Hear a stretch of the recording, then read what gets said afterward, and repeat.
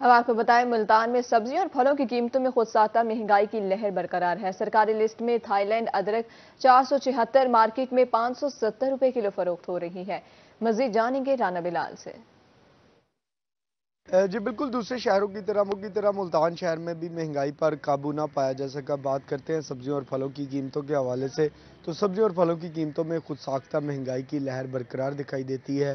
Price control committee और price control magistrate जो है, वो खुद साख्ता महँगाई को कंट्रोल करने में मुकम्मल तौर पर गैर फाल दिखाई देते हैं। कीमतों की अगर हम बात करते हैं तो सरकारी रेट लिस्ट और मार्केट में जो है, वो वाजह फ़र्क दिखाई देता है, जिनमें अगर हम थाईलैंड अदरक के सरकारी रेट की बात करें तो चार सौ छिहत्तर रुपये मुकर किया गया है, जबकि मार्केट के अंदर इस वक्त 550 से लेकर 570 रुपये फ़ी किलो के हिसाब से फ़रोख्त की जा रही है। इसी तरह अगर हम चाइना लहसन की बात करते हैं तो चाइना लहसन का सरकारी रेट जो है, वो तकरीबन पाँच सौ चालीस रुपये मुकर किया गया है, जबकि मार्केट के अंदर चाइना लहसन ने तकरीबन सात सेंचुरियाँ क्रॉस कर ली हैं।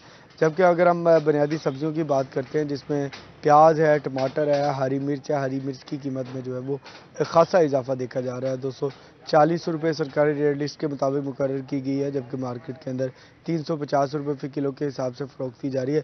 जबकि प्याज की कीमत जो मुसलसल बढ़ रही थी, उसकी कीमत में जो है वो हमें चौदह रुपये कमी देखने में ही। आज प्याज एक सौ छियानवे रुपये मुकर कर दिया गया है, दो सौ दस रुपये से कम होकर, जबकि मार्केट के अंदर वही कीमत है कल भी दो सौ सत्तर रुपये फ़रोख्त हो रहा था, आज भी दो सौ सत्तर रुपये फ़ी किलो के हिसाब से फ़रोख्त किया जा रहा है। जबकि टमाटर की बात करते हैं और सब्जियों की बात करते हैं, जिसमें टमाटर एक सौ बीस रुपये मार्केट में फ़रोख्त किया जा रहा है, सब चना और सुहांजना तीन सौ बीस रुपये जबकि टिंडे जो हैं वो दो सौ चालीस रुपये फ़ी किलो के हिसाब से फ़रोख्त दिया फलों की अगर हम बात करें तो फलों की कीमतों में जो है वो अंगूर की कीमत में खासा इजाफा देखा जा रहा है। अंगूर मार्केट के अंदर इस वक्त बारह सौ रुपये फ़ी किलो के हिसाब से फरोख किया जा रहा है, जबकि खजूर जो है वो तकरीबन 800 से लेकर 900 सौ रुपये फ़ी किलो के हिसाब से फरोख की जा रही है। इसी तरह अनार का रेट भी जो है वो सबसे ज़्यादा देखा जा रहा है।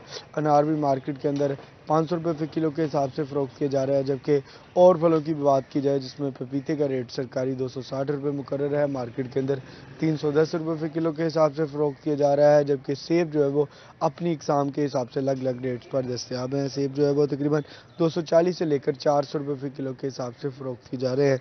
स्ट्रॉबेरी का सरकारी नरकनामे के मुताबिक रेट जो है वो पाँच सौ पचास है जबकि मार्केट के अंदर छः सौ रुपये फ़ी किलो के हिसाब से फ़रोख्त की जा रही है और फलों की बात करते हैं तो फलों में किन्नू का रेट जो है वो तकरीबन मार्केट के अंदर एक सौ साठ रुपये मुकर किया गया है। इसी तरह सब्ज़ी और फलों की कीमतें कम ना होने की वजह से बढ़ने से शहरी और दुकानदार दोनों परेशान हैं। शहरीों ने दुकानदारों ने मिल के मुतालबा किया कि लिहाजा सब्ज़ियों और फलों की कीमतों में कमी लाई जाए जी जी, राना बिलाल, अपडेट करने के लिए शुक्रिया।